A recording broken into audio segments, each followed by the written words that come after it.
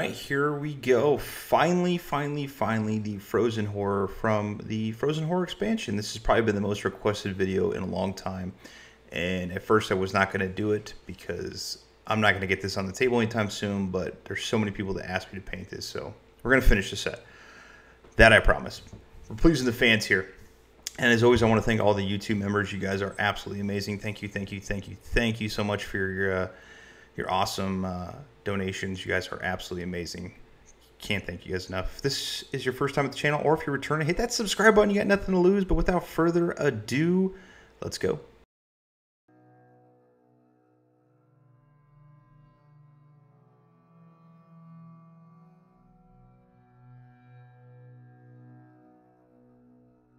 All right, as always, we are going to scrape those nasty mold lines off our miniature. There's a decent amount, mostly around the rim of the base, but nothing too crazy on this miniature. Take a file or a scraper, craft knife, whatever you have, and scrape those mold lines off. Next, we're going to use some uh, primer, black primer on this, and you can use rattle cans if you want. That'll save you a ton of time, but I was doing a whole bunch at once, so this uh, is good for that type of scenario. So hit that with black, and then we're going to do a zenithal highlight from above of white. Again, you can use spray paint if you want, probably be a little bit easier.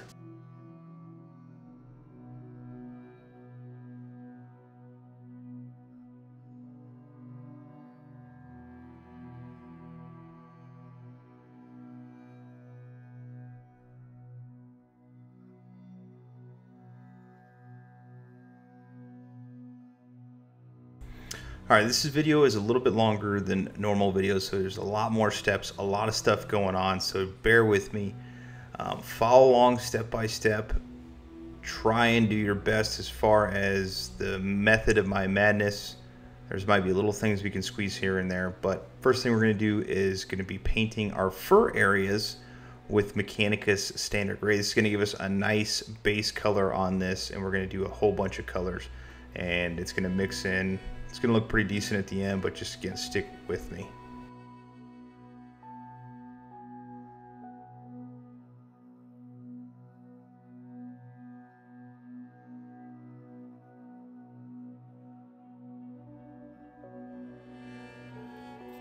After that gray is dry, we're going to take some gray Seer and we're going to dry brush this on.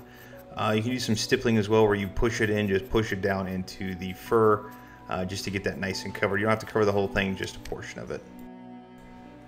Next, we're going to do the same thing, just time with a little bit of Administratum gray. Again, you're going to lighten up that color just a little bit, but you want some of that gray to be sticking out from underneath. It's going to create that nice variant, kind of like the polar bear we did, or the werebear, or that wampa, or whatever we painted before. Similar to that. And finally, we're going to take some Praxeti white and make some white on there as well, right before we do our wash that we're about to make here in a second.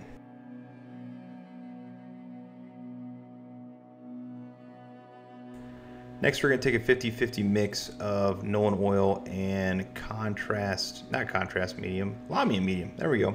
We're going to mix that together and then we're going to slap it over everything we just painted. Now it's not going to be too thick, it's not going to be too runny, it's just going to be just right. You'll see here that in a second.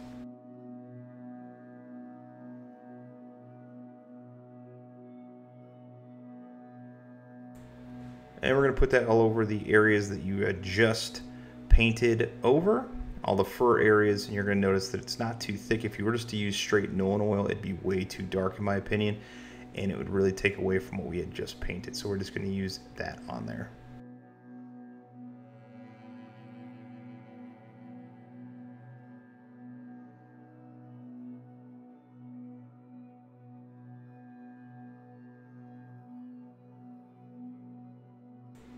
After that is completely dry, you can see that it's sticking out very well, but it's not overpowering. We're to take a dry brush of Blue Horror, and we're just going to paint that on the top of our head uh, fur area. You can do a little bit into the cheek areas as well.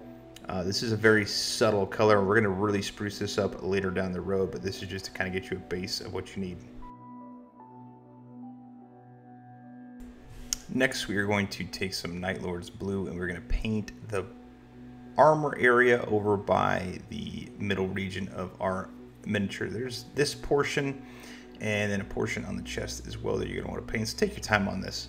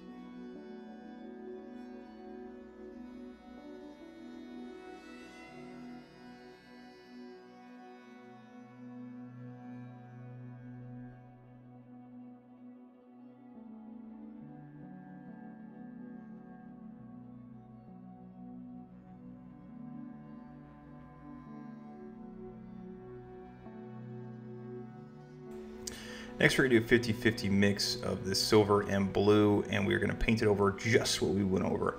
Now this is going to create that metallic looking blue that we're looking for that is similar to the art on uh, this miniature. That's what we're looking for.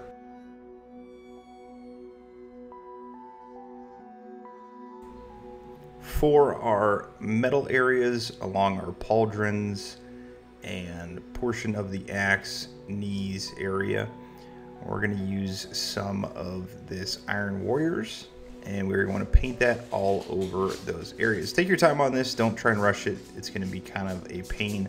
Again, this is not a fast moving painting miniature. This does take some time.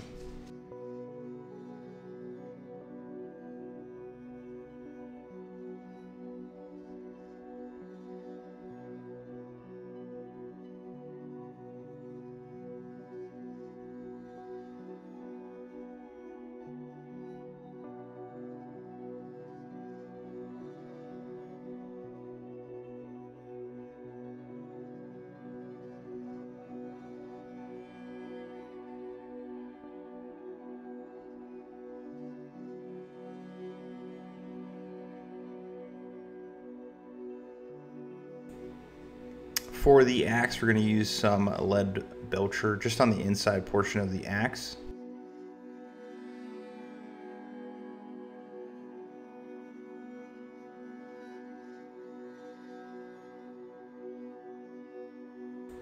Followed by some Grey Knight's steel on the axe.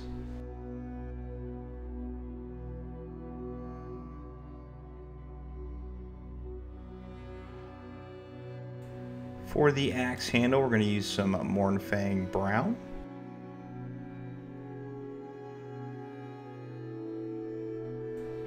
Followed by painting all of our fur areas for hands, fur, matching the card we're going to use the Fang.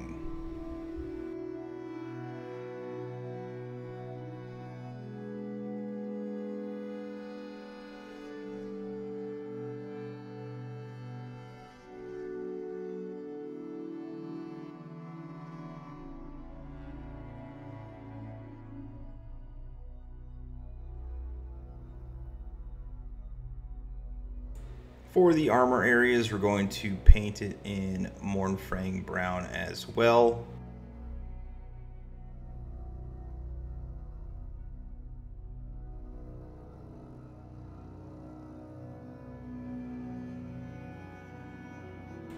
Followed by the leather areas with some Steel Legion drab underneath it. I mean, you know what I mean.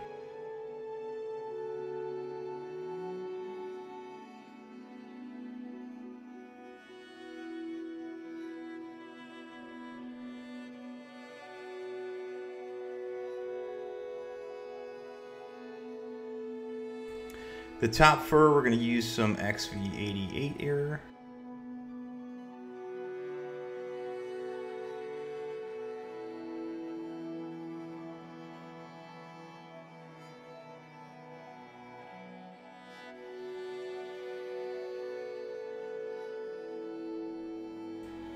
and some Rhinox hide on our leather straps that are connecting the back armor, I guess you could say. I don't know.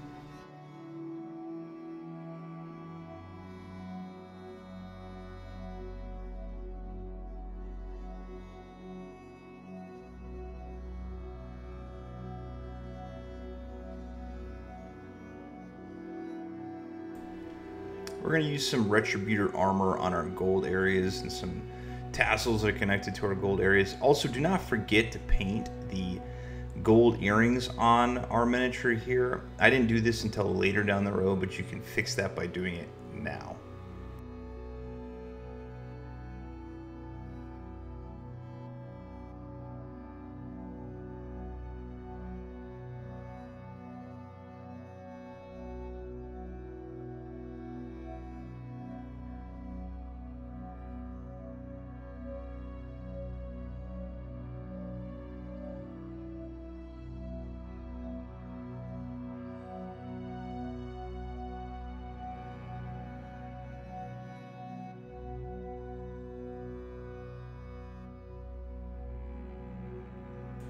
To brighten up our metallic blue areas, we're to use some Hoeth blue. Thin it, of course, and you're to put it all over the blue areas. On the bottom portion only.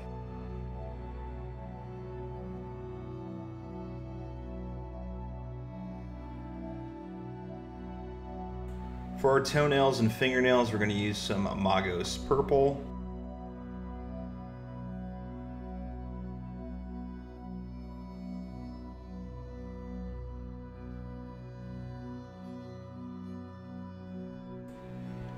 For our tongue, we're going to use some Screamer Pink to finish up the base coat on this miniature.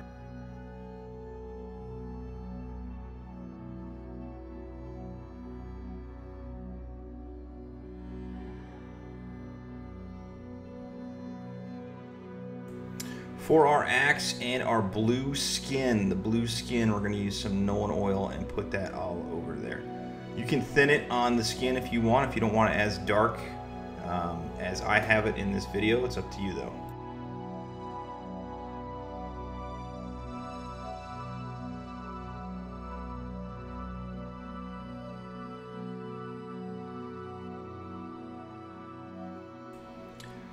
followed by some Agrax Earthshade on all the brown areas. You can put this on the gold areas as well. It is up to you.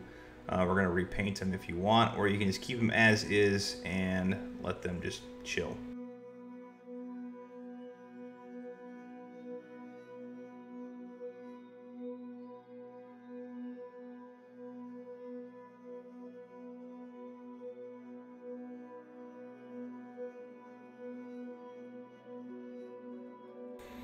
All right, starting up the highlighting phase of this miniature, we're gonna start with white. Now we're gonna paint all of the white areas where our ice um, areas are at. There's a ton, there's a ton on the axe, bottom of the axe, on the pauldrons, um, face area. Just take your time, try and pick them all out. I'm using a big brush in certain areas and a small brush in other areas. Um, this is what really makes the miniature, in my opinion. These vibrant blue colors are about to hit it in several steps. So take your time, make sure you hit all the white areas.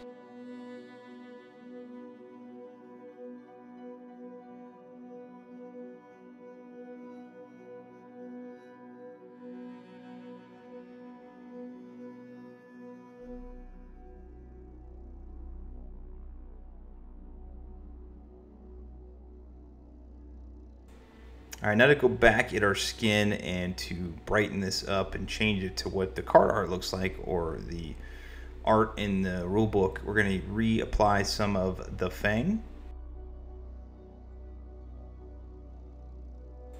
Followed by a 50-50 mix of Russ Gray and the Fang. Again, we're hitting the same areas. We want to do the same concept of hitting um, the fingernails, the knuckles, and stuff like that to uh, make them more vibrant and bright.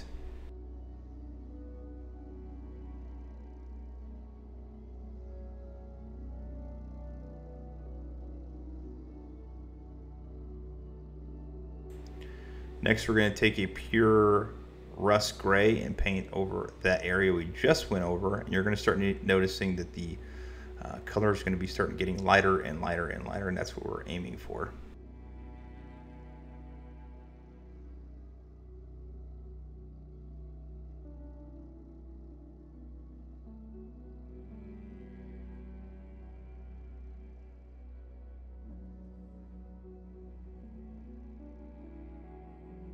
Next, we're going to take a 50-50 of the Russ and the Fenrisian, and again, going over the same areas, really focusing on the knuckles and the hands area.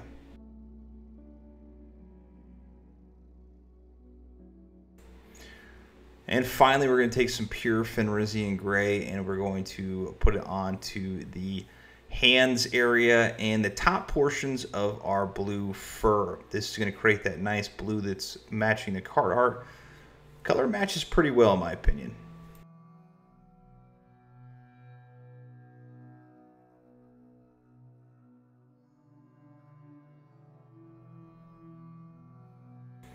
All right, we're gonna go back and reapply some gray Seer onto our white uh, fur areas just to brighten them up just a little bit. Do not get them in the recesses. Just we're just brightening them up to make it a little bit more stand out-ish, I guess you could say.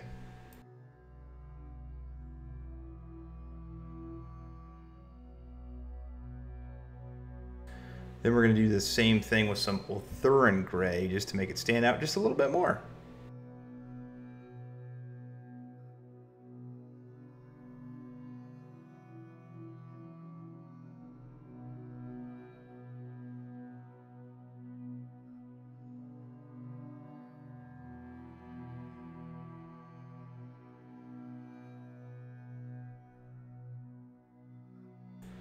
Then to do some edge highlighting, we're going to take some Runefang Steel and edge highlight our pauldrons. You can use this on the axe as well, but we're going to hit a dry brush here in a second of not Necron compound. You're going to see in the next slide, like I'm doing a PowerPoint or something. so hit that area real quick.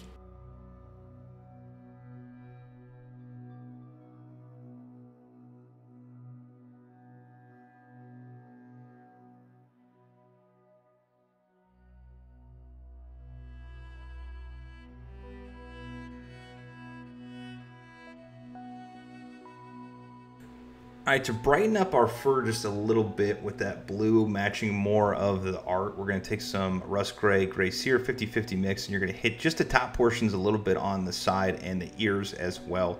This is going to create that blue variant that you see in the art.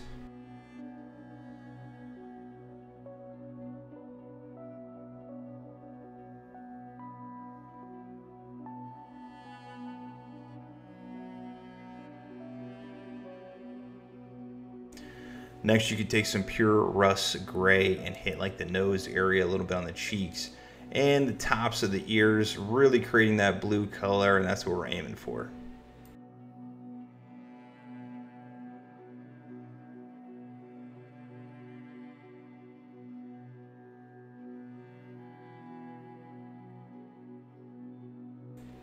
To brighten up the fur on the backside, we're going use some Tallarn sand followed by some Doombull Brown on the backside and the leather on our axe.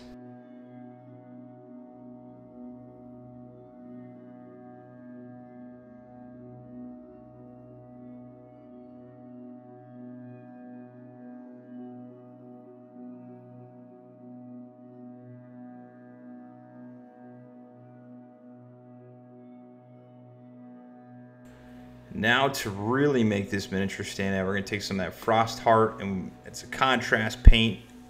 You can do another way if you want, but this to me makes the miniature, really makes it stand out. You're going to put that all over the white areas that match the art on the rulebook.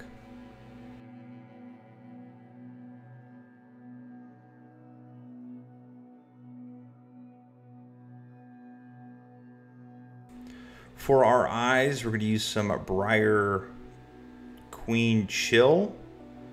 Briar Queen's Chill, there we go. And we're going to put just a dollop in the eye. Now it's going to be like a, a drop in there, and it'll dry, and it'll make that variant of the color.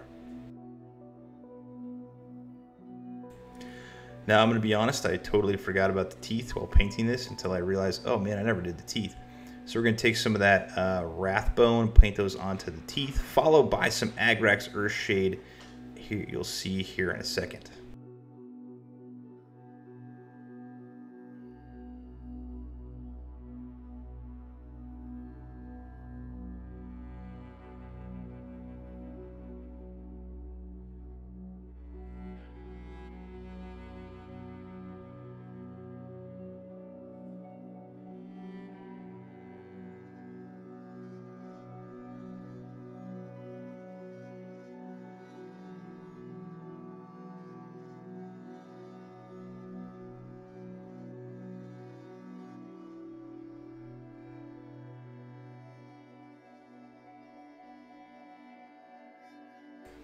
And while that Agrax is drying on the teeth, take some 50-50 mix of contrast and basilicanum gray and slap that onto the base. That'll make the cracks and everything else stand out perfectly on this.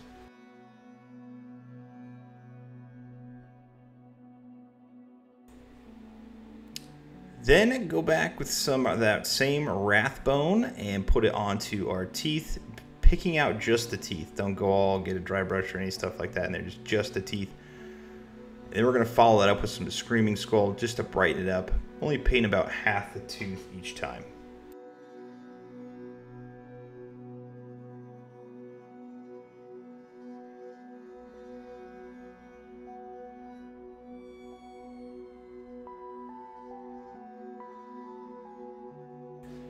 And to brighten up our tongue, we're going to take one first color of Pink Horror and then follow that up by Emperor's Children, just painting on the each side, leave that middle area and the recesses dark.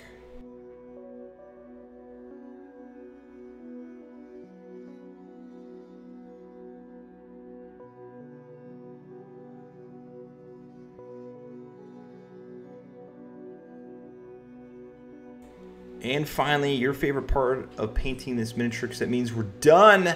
Some Abaddon black on the rim of that base. Whew. All right, took a little longer than uh, you know you probably hope, but there's a lot going on with this miniature. We're trying to make it look good, so we had to add some extra steps. In my opinion, for a tabletop standard, this is pretty good. We could have done some other crazy stuff, but we didn't. But you finished it. Looks pretty good. Send me your pictures on Instagram. I love seeing everything. What everybody paints makes me more motivated to paint more. I just want to say thank you, thank you, thank you for watching this. Thank you for all my YouTube members, the subscribers. If you haven't hit that subscribe button yet, please do. We just hit our two year mark here on the channel, maybe three. I don't know how long, but we're not going to stop. But until next time, paint on.